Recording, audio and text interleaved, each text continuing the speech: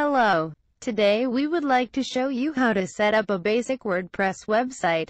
Then we will try to install a WordPress theme, Vertex, downloaded from Elegant Themes. We use cPanel for this video, because we think this is the most popular hosting management tool you may use. After logged in, scroll down and click on Softaculous.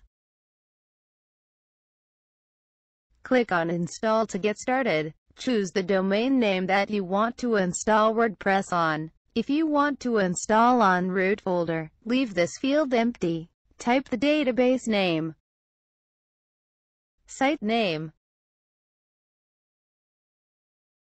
site description. For the admin account, we recommend you to use Password Generator to have a strong password. It's more secure for your website. Don't forget to type the receiver email to save the installation information.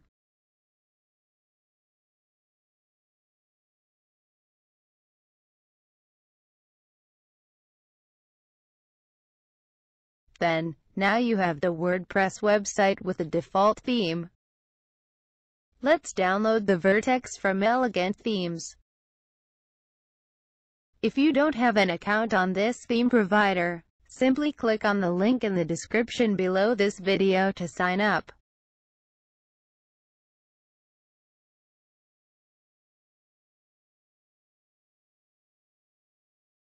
Now I'm in the member area of Elegant Themes. I saw Scarebeat for member just for only 39 US dollars. You see that? I can access all of their themes. There are more than 84 themes here.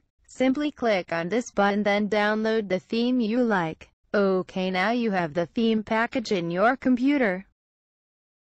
We get back to the website we just installed a few minutes ago.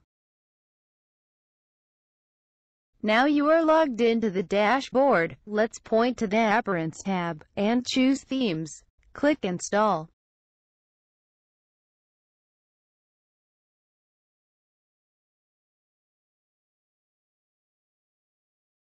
Choose Vertex, zip file.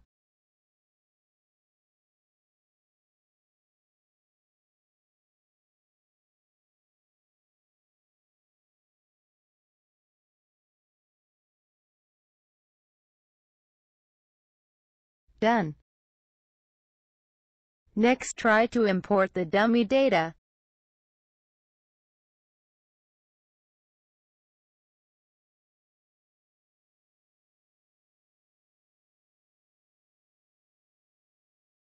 The dummy data is in the zipped file so you have to extract it out.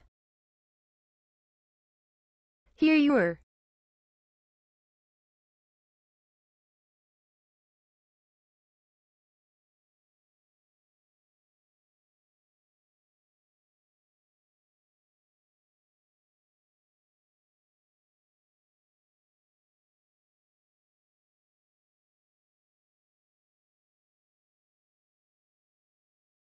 OK Vertex theme is installed. You need to go to the ePanel then click on Save button to apply the theme configurations.